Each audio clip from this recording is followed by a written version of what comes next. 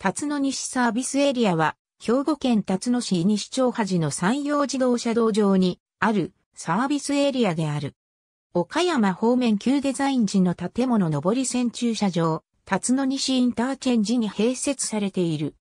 神戸方面、山口方面ともに東 SA から辰野西インターチェンジの利用はできるが、辰野西インターチェンジから東 SA の利用はできない。以前は、辰野西サービスエリアという名称であったが、2003年3月29日の播磨自動車道播磨ジャンクション播磨新宮インターチェンジ間開通に合わせて、辰野西サービスエリアと名称変更された。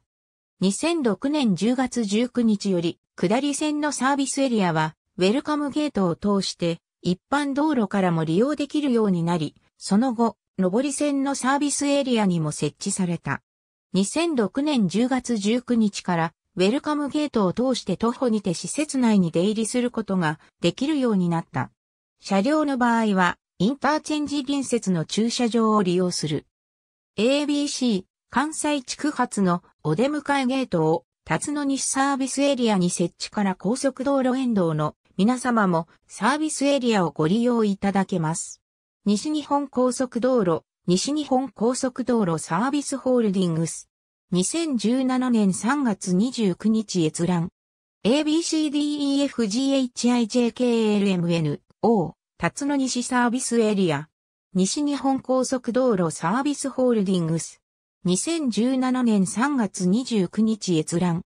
ハット後に強立ハイウェイカンパニーと社名を変更し、出光リテール販売に吸収された山陽自動車道辰野西 SAA レストランリニューアルオープンのお知らせ。